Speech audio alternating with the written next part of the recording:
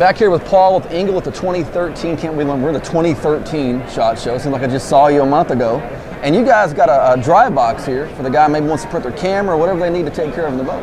Well, not just a dry box, it's a cooler box. A cooler Primarily a cooler box. So on the front, cooler box and a dry box. And a dry box. Now, how many good quality cooler boxes do you know that have got a shoulder strap? Uh-huh. The ability to carry it over your shoulder. Why? sir. Because you've got two free hands. Uh-huh. So when you're walking across a football field or going to your buddy's house, Yep. Mm-hmm. you've got hands to carry other stuff.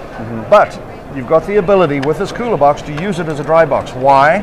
Because we've got a gasket there, Mm-hmm. an EVA foam gasket that presses down on that ridge. When you close this, by the way, with these stainless steel latches, you get a compression seal that is completely airtight. Love it. This allows you to actually submerge it underwater to shallow depth. Water will not get in. So Wow. let's go river rafting. Let's go kayaking. Uh-huh. Let's all say we have these fancy iPhones and Android devices that are all $600. Yes, yes, yes. You can put that in there with your car keys and don't use ice now, but use a blue brick or a frozen bottle of water and you have waters and Gatorades or whatever other drink you like.